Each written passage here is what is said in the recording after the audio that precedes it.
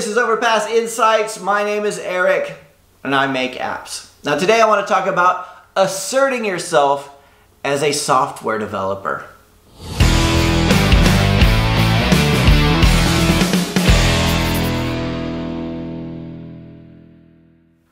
All right, so today I want to talk about one of my big pet peeves as a software developer. So as, a, as software developers, we can have many different roles and many different times of our lives or whatever. So you could be a developer who's just doing your own stuff, you're working on your own projects, you're putting up to the App Store, you're, you're totally self-reliant, which is awesome, that's cool. Or you could be an employee or a contractor, and I kind of lump them together because you're working for one for one organization and they're paying you based on your time. There's that. And then there's where you're doing client work where you've, you've given somebody, somebody's come to you for a project, you've given them a quote and you're working on that to deliver that project.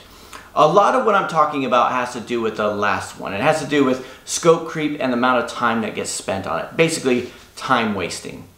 Because scope creep happens in every situations, but when it's your own if it's your own project, there's going to be scope creep because you have a new idea, or you've got something, or you get you just turn into a perfectionist and you just want to make sure everything is perfect and you never go live. And in that kind of situation, you have to like almost pretend that you've hired yourself, otherwise things will never get done.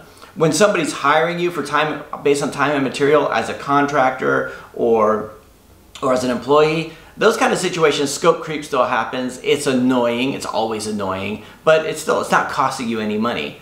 The third situation where you've given somebody a quote for a project is where you really have to assert yourself as a developer. It's very easy.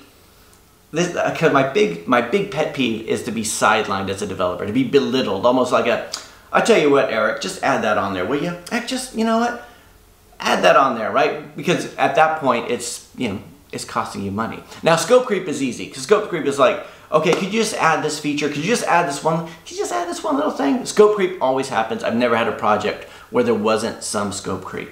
And I, I tend to be a bit of a pushover. Like a lot of times I'll be like, yeah, actually, yeah, we, yeah, we could probably get that in there. Like it's because it's you know sometimes I think it would it would genuinely improve the project, but it's got to be my choice, right? It's got to be my you know that's like okay, I'm gonna decide whether or not yes, yes or no to go with that. And sometimes you give an inch and they take a yard or whatever, or you get you'll say yes to a little feature, and then it opens up a floodgates of support issues going forward. All right, so you have to be really, um, really careful about that. But we all know about scope creep. The thing that really bothers me the most is just wasting time because a lot of the times like you, will have in your contract saying okay we'll give you like a weekly update give you a weekly update of how it's going or we'll send you your regular bills or, or whatever your agreement happens to be with a client. But a lot of the times there's still other things that come in like uh, like a phone call. Like just you're sitting there working you're on maybe a completely different project or maybe even on the client's project. You're just you're in the scope you're in the code you're in the zone or whatever the developers are in the zone whatever. You're busy and then the phone rings and it's like hey, can we just have a quick catch up on, you know, on where we are with this project? And I totally know, I totally know they're like excited. It's like Christmas morning, like some big application is coming and they can't wait to see how it's going, but it's like, it's a distraction, right? It is that kind of like a thing. So a lot of times you have to remember to program the numbers of the clients into the phone so that if you, if you don't have time to talk to them at that moment, it's like, you know, like again, it sounds bad when I say dodging calls, but sometimes you're like, okay, I'll have to call them back later because I know this is a longer conversation. So that's one thing.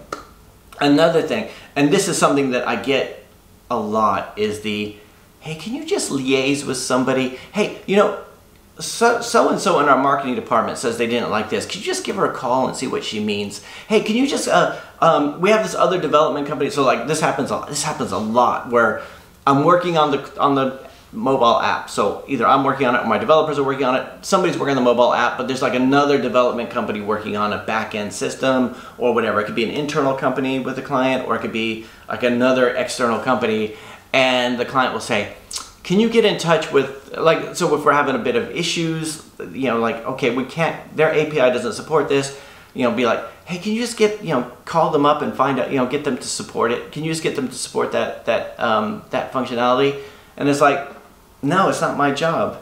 And I've actually had this happen once where I had the client arrange a meeting and it's like meetings take time. Meetings take time and it's if it's not part of the scope if it's not part of your quote then it's you know it's it just it just eats away at things. And sometimes it's necessary so you have to think about that kind of stuff when you're quoting. Anyway so we get in so we have this meeting where it's just like this other company my company and the client and right before the meeting like 20 minutes before the meeting, the client says, uh, Eric, I'm really busy in other meetings at the moment. I tell you what, I'm not going to understand what you guys are talking about anyway. It's going to be all technical. Can you just, you know, handle this meeting for me? And my whole thing was, I, and I said no. I said, it's, you know, this, if you can't make the meeting, then we'll just cancel the meeting. I'm not going to go into a meeting like with another company without the client themselves. Like it's like it doesn't make any sense. Uh, and he just, you know, he said, well, yeah, but it really should be. It should be simple. Like you know, they're they're really good guys, whatever. So the meeting happens, and like you know, so I'm talking to these other developers, and I go, uh, your API doesn't support whatever functionality. And they go, oh yeah, no, it's not supposed to. It's like, you know, we, we can't do that. It's, you know, that would be too hard. We can't do it. And I was like, okay. it was like, I wasn't going to fight for it. So I go back to the client saying, yeah, they can't do it. And he's like, what do you mean? Did you tell him this? Did you tell him this? I was like, this is why we need you in that meeting, right? I'm not going to tell you, you know, it was just, it was tough. But it, the, my biggest thing was it was a waste of time. It is a waste of time when your client calls you to discuss feedback, right? You just say, okay, here's the first build. Let me know what you think, and we'll, we'll make these changes and put this thing live. And they call you up and say, I was gonna write it all down, but I thought it'd be easier to call. Just I thought it'd be easier to just give you a call, so I can transcribe it for you. Happens all the time. Happens all the time. So a lot of the times you have to you make sure you get we can have a conversation, but I still need you to write all this down, right? I need it down on paper before we agree to these changes, right? Or there's too many rounds of feedback. It's like we're not playing tennis where I give you a build, you come back with more feedback. I give you another build, you come back with more feedback. I add that feedback, give back. It's got to be like just maybe maybe one or two iterations, right? Bugs are bugs are different new features and new functionality is completely different. But it's my biggest pet peeve is wasting time. And as a developer, when you're doing client work, you have to assert yourself. You have to make sure that they understand that if uh, somebody comes up to you with a support issue saying, uh, Jerry says it doesn't work on his phone, you know, it's like, okay, like, you know, here's what I need from you. And he's like, can you just give Jerry a call? no, no, no. I'm not calling Jerry. I need to know what kind of phone he's on, like at least Android or iPhone, that would be useful to know. Like, what kind of phone is he on? What actually is the issue he's having? You know, like, I need, give me some screenshots. You need to make sure that somebody does all the detective work so you don't. You have to protect your time as a developer. Once you put that quote out there, everything starts to get coming away from you. And at that point, you might, you might want to say, let's switch to a time and material model. This is taking too much time.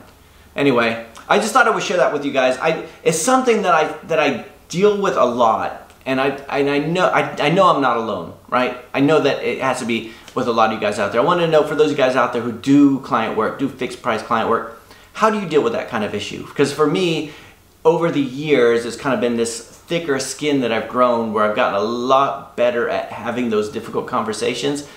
Probably not as good as I should be, but I've gotten a lot better at it. And, um, and I wanted to share that with some of you guys who are just getting started because it's a new skill set, man. It's, it's not, it's easy just to, to say yes to everything, which I've kind of, kind of, I have in the past. I might do a little bit too much now, but uh, it's, it's, you know, being assertive as a developer is really, really important. Anyway, this is my thoughts for today. I hope you guys have a fantastic day. If you haven't liked and subscribed, please like, subscribe. Go ahead. We'd love to have you. Uh, and that's it for today. I'll talk to you again next time.